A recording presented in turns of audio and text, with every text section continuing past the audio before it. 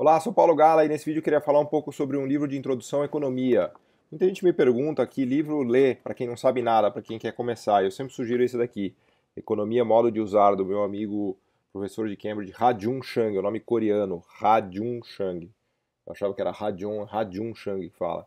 É, professor da Universidade de Cambridge no Reino Unido, é, meu amigo, tive com ele lá várias vezes como professor visitante, é, passei alguns meses estudando lá na Inglaterra e ele tem livros fantásticos. Talvez vocês conheçam já o Chutando a Escada, o 23 Coisas que Nunca Te Contaram sobre o Capitalismo, é, entre outros. Maus Samaritanos também, que é um belo livro. Ele acabou virando um economista pop, assim, que escreve para o grande público, para quem é leigo, e todos os livros são muito bons. Esse daqui é uma espécie de introdução à economia, que eu sugiro todo mundo que me pergunta que livro, por onde eu começo, Paulo? Qual livro eu começo a ler se eu não sei nada de economia? Eu sempre sugiro esse daqui, Economia modo de usar. Né? Hoje mesmo eu estava dando uma folhada aqui no capítulo do papel do Estado, né, que ele chama de Leviatã ou Rei Filósofo, que é bem legal. Então ele faz ali uma discussão sobre o contrato social, né, a ideia do Hobbes de que os homens estão em estado de guerra de todos contra todos, né, e que se não, é, se não houver um contrato que regule, né, que é, normatize as relações sociais, que uh, a convivência social não é possível, né? Muitas vezes a minha liberdade invade a sua liberdade, né? Pensa num exemplo bem besta de cigarro, né? Por exemplo, eu quero fumar, mas você quer ter direito ao ar puro. Então a minha liberdade de fumar vai, vai implicar numa falta de liberdade de você ter ar puro. Ou a sua liberdade de ter ar puro vai implicar na minha falta de liberdade de fumar. Né? Então essa questão das liberdades individuais, elas precisam ser reguladas, elas precisam estar colocadas em algum contrato e a sociedade precisa chegar num consenso, num acordo sobre o que aquela sociedade quer como regra sobre o que é permitido e o que não é permitido. Então, é, essa, essa é a ideia do contrato social. O Hobbes, na verdade, ele estava escrevendo isso para justificar o poder absoluto do rei, do monarca. Né? Ele escreveu até por um mau motivo, porque ele queria é, destacar que o rei deveria ter muito poder para poder é, justamente definir essas coisas. E aí tem o outro lado dessa história, que é o lado mais libertário, que também tem o seu ponto, que é falar, olha, calma lá, a gente não pode dar todo o poder para o rei, todo o poder é, para o absolutismo, porque precisa, precisa haver limites. Né? Os economistas acabaram é, resolvendo um pouco isso com a discussão de falhas de mercado e falhas de Estado. Né? Então, é, se o mercado, o mercado deixado com funcionamento livre, leve e solto, comete vários equívocos ou vários problemas, né? Poluição é um caso típico disso, né?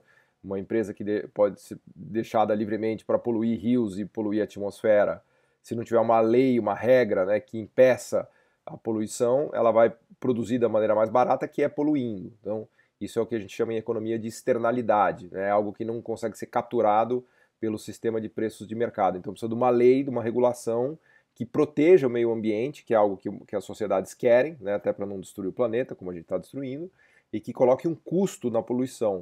Ao colocar um custo na poluição, uh, a gente provoca o que os economistas chamam de uma internalização do custo de poluir. Né? Então a empresa vai ter que pagar uma multa se ela gerar fumaça, vai ter que pagar uma multa se ela colocar a poluição na, nas águas dos rios.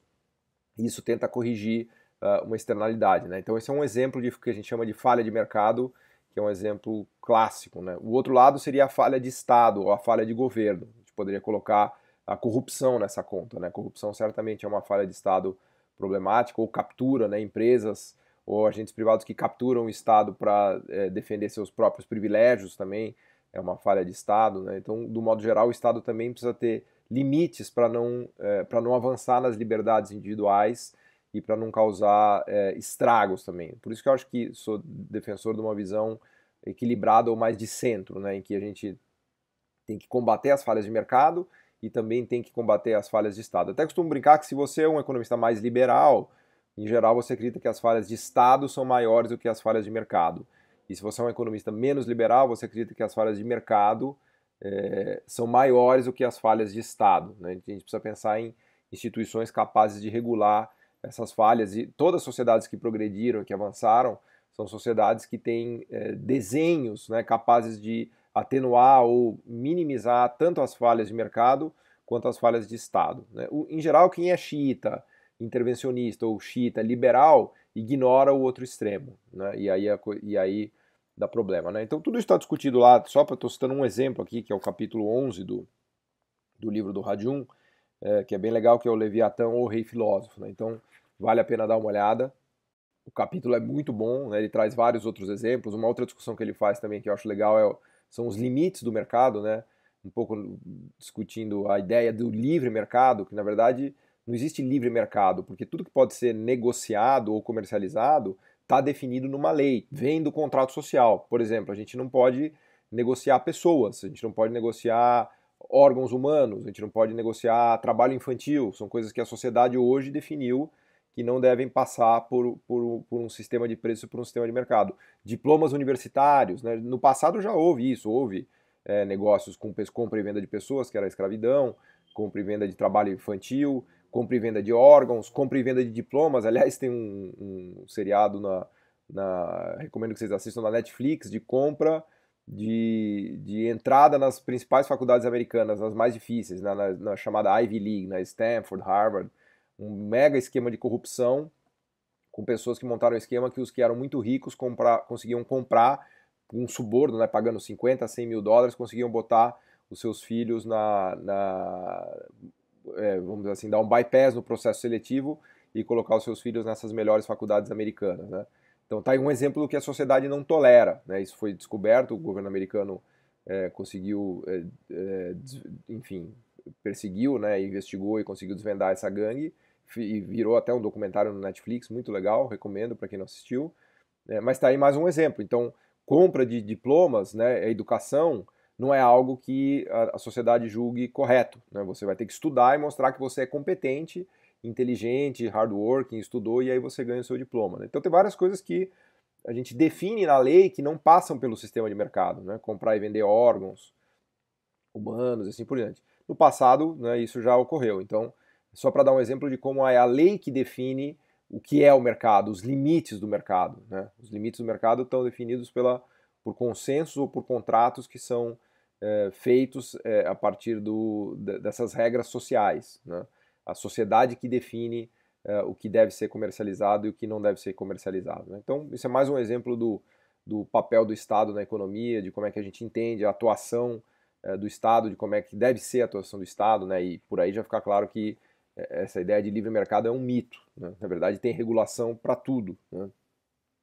e muitos outros exemplos. Né? Então não vou aqui me alongar demais, eu queria só dar a dica desse livro, que é muito legal, o Economia Modo de Usar, tem um, tem um baita elogio aqui do Guardian, que diz o seguinte, ó, você pode usar o livro como uma cartilha, um livro de referência, uma breve história, esse livro é todas as coisas, mas não se resume a elas.